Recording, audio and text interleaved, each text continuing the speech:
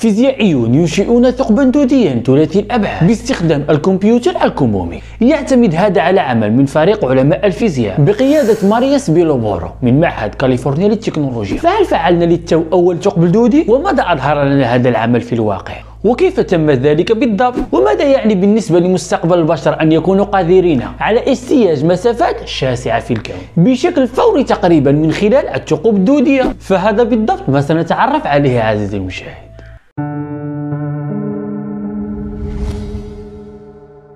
عزيزي المشاهد كيف حالك؟ أتمنى أن تكون في صحة جيدة. فإذا كنت أول مرة تشاهد حلقاتنا دعني أعرفك بمحتوى القناة فهو ببساطة محتوى علمي. نبحث ونكتب ونلخص ونبسط لك المواضيع العلمية ولكي لا أطيل عليك لنبدأ. ميكانيك الكم التي هي فيزياء صغيرة جدا. ابتكرها العلماء بما في ذلك نيلز بور وإروين شرودينجر وماكس بلانك.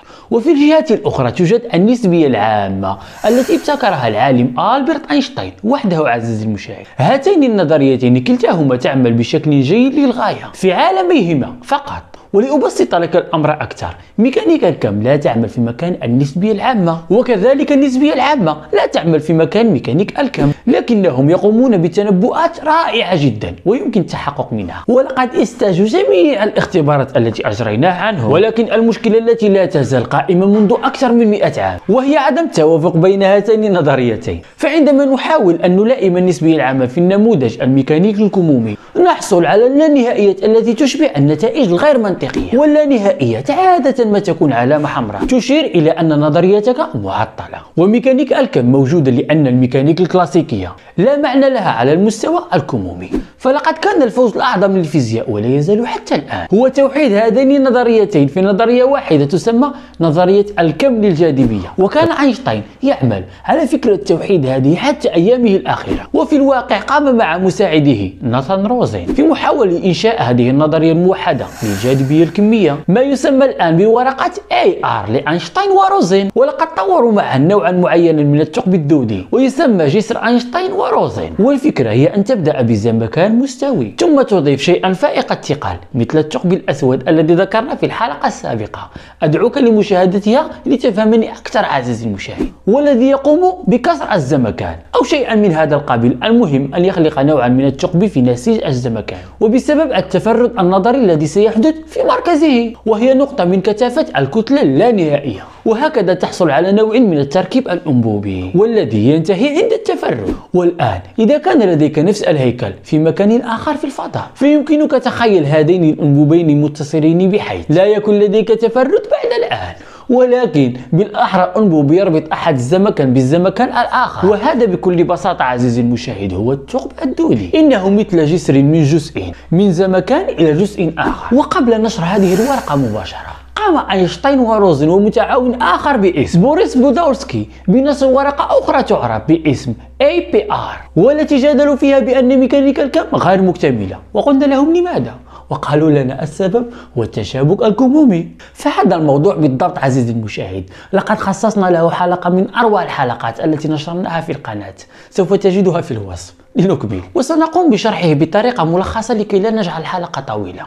المهم فهذه الظاهرة يمكن من خلالها إنشاء زوج من الجسيمات بطريقة تجعل حالتها الكمومية مرتبطة ببعضها البعض بحيث أن قياس عملية دوران جسم واحد تحدد على الفور دوران جوزها المتشابك الآخر. وبعبارة أخرى إذا كان الأول يدور للأعلى فالثاني سيدور للأسفل بغض النظر عن المسافة الموجودة بينهما. ولذلك جادلت ورقة EPR بأن هذا غير ممكن لأنه سيتطلب نقل المعلومات على الفور أي أسرع من سرعة الضوء. وهذا مما يكسر السببية. وفي عام 1997 أظهر الفيزيائي خوان مالداسينا أن النظام الذي يشمل على مجموعتين من الجسيمات المتشابكة كان مكافئا رياضيا لثقبين أسودين متصلين عبر ثقب دودي. وفي عام 2013 اقترح أخوان مالداسينا مع الفيزيائي ليوناردو سوسكينغ أن AR تساوي APR واقترحوا بشكل أساسي أن فيزياء الثقوب الدودية كما وصفتها ورقة AR كانت مكافئة لفيزياء التشابك كما هو موضح في ورقة APR وبمعنى آخر هو أن الجسيمات المتشابكة متصلة عبر ثقب دودي لذلك من خلال إنشاء تكوين الجسيمات المتشابكة فإننا أيضا نخلق شيئا مكافئا للثقب الدودي. فهذا هو أساس الإدعاء الوارد في الورقة البحثية الأخيرة حول كيفية إنشاء ثقب دودي. في المختبر باستخدام الكمبيوتر الكمومي. والآن بدأنا نفهم عزيزي المشاهد ماذا فعل العلماء بالضبط في تلك التجربة. فأجهزة الكمبيوتر الكمومية تعمل بفضل التشابك وهذا هو الرابط بينها وبين الثقوب الدودية. فهذا لا يعني أن المؤلفين أنشأوا ثقبا دوديا ماديا في الزمكان. ولكن بدلا من ذلك باستخدام الكمبيوتر الكمومي. تعاملوا مع الجسيمات المتشابكة الكمومية. في الزمكان كأنما يتعاملون مع الثقوب الدودية لأنها تحاكي بعضها البعض في السلوك. والجسيمات المتشابكة والثقوب الدودية يمكن وصفها بأنها متكافئة رياضيا. لنلقي نظرة على كيفية إجراء هذه التجربة بالفعل.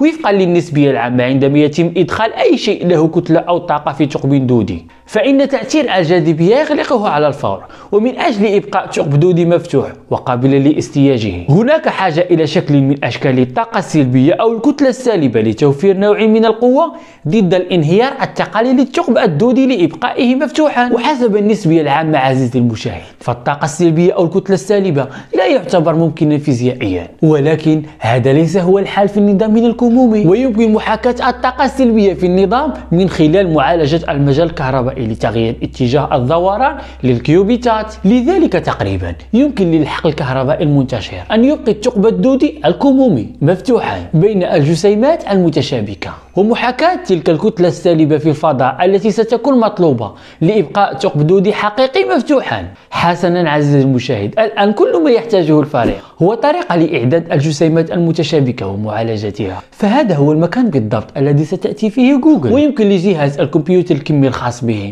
القيام بهذا النوع من الأشياء على وجه التحديد فالباحثون قد أنشأوا حالة تشابك بين جانبين من النظام الكمي باستخدام سبع كيوبيتات. والكيوبات هي وحدة معلومات أساسية من أجهزة الكمبيوتر الكمومية تماما مثل البت الموجودة في الكمبيوتر الكلاسيكية. والفرق هو أنه على عكس البت التقليدي التي يتكون من واحد أو صفر أي تشغيل أو إيقاف. فالبت الكمي يمكن تشغيله بين أي حالة؟ إنه واحد وصفر في نفس الوقت أي تراكم بين الاثنين. وهنا عزيزي المشاهد أدعوك لمشاهدة حلقة ازدواجية الموجة والجسيم الموجودة في القناة والتي شرحنا فيها هذا بالتفصيل. لنكمل. المهم قامت سبع كيوبات بمحاكاة ثقب دودي يتكون من سبع أزواج من الجسيمات.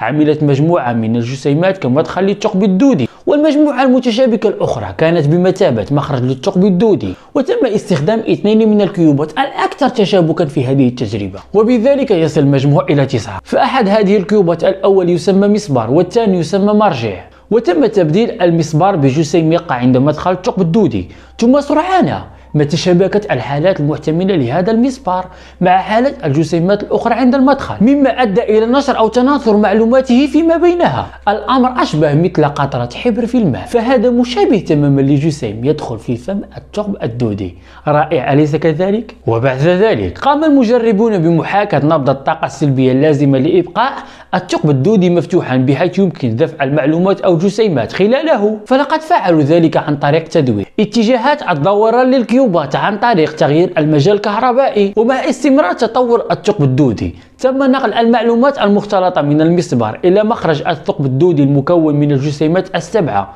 على الجانب الآخر.